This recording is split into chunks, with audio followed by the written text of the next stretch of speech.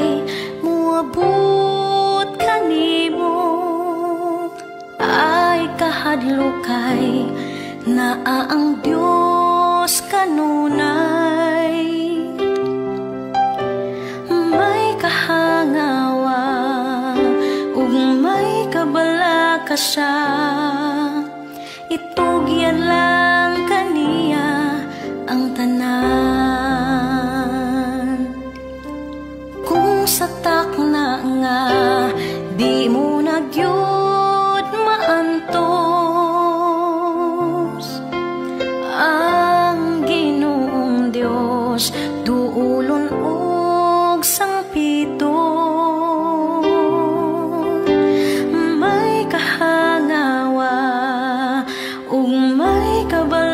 siya.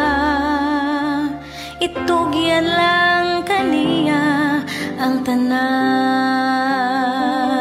Busa